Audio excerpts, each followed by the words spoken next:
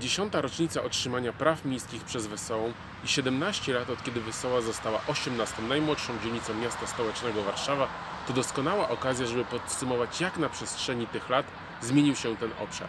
17 grudnia 1968 roku to dzień, w którym Wesoła otrzymała prawa miejskie na podstawie rozporządzenia prezesa Rady Ministrów. W skład nowego miasta weszły osiedla Wola Grzybowska, Wesoła, Groszówka, Grzybowa, Zielona i Stara Miłosna. 500 lat temu tereny obecnego osiedla Wesoła należały do wsi Długa. Nazwa osiedla Wesoła obowiązuje od 1918 roku. W 1930 roku w Wesołej było 70 budynków mieszkalnych. Z inicjatywy księcia Emanuela Bułhaka w roku 1905 powstała jednostka Straży Ogniowej. Co ukształtowało Wesołą? Bez wątpienia było to doskonałe położenie i szlaki komunikacyjne, które przecinały okolicę. Pierwszy z nich, osada grzybowa z karczmą zielona, powstała przy trakcie prowadzącym z Grochowa w kierunku Rusi. Drugi to trasa handlowa z Pragi poprzez kamion Grochowo w kierunku Mińska. Ten szlak to dzisiejszy trakt brzeski. Trzecia z nich to trasa wytyczona przez kolej żelazną, której tory biegną w kierunku Terespola. Pierwszy pociąg przejechał w 1867 roku. Wesoła to głównie tereny zielone. Ponad 60% powierzchni pokrytej jest lasami. Na jej terenie znajduje się 18 pomników przyrody. Do najcenniejszych obiektów przyrodniczych należy rezerwat Bagnojacka.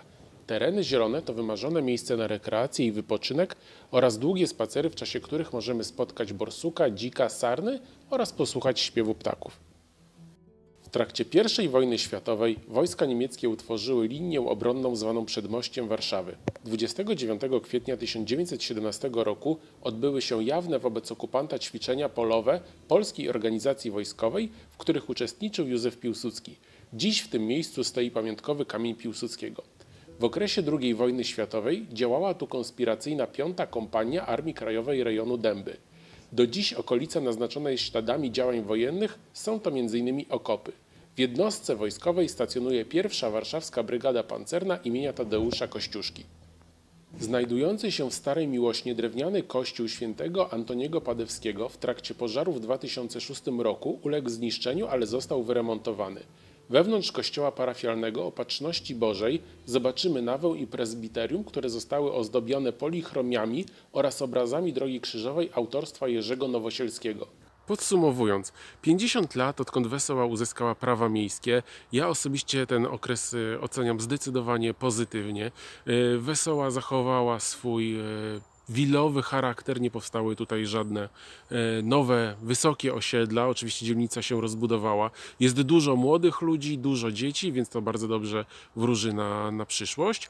E, bardzo dużo terenów zielonych do uprawiania wszelkiego rodzaju sportów.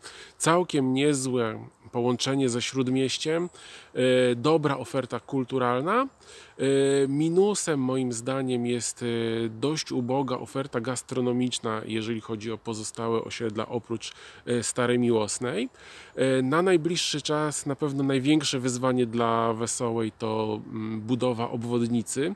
E, tutaj jest duży spór między Generalną Dyrekcją Dróg Krajowych i Autostrad i mieszkańcami, którzy walczą jednak o zachowanie tego mm, niepowtarzalnego klimatu i też no, no nie godzą się na podzielenie dzielnicy e, na pół, ponieważ e, droga miałaby iść nasypem.